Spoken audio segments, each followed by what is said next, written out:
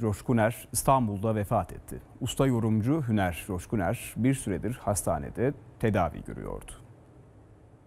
Sevmekten kim usanır Seslendirdiği şarkılar yıllarca dilden dile dolaştı.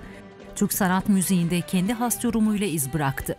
Yemin ettim Sanat müziğinin usta yorumcusu Hüner Coşkuner bir süredir hastanede tedavi altındaydı.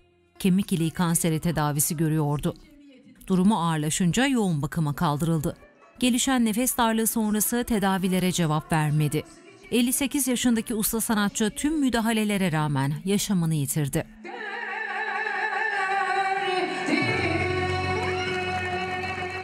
Küçük yaşta müzikle tanışan Hüner Coşkuner ilk albümünü 1987 yılında çıkardı.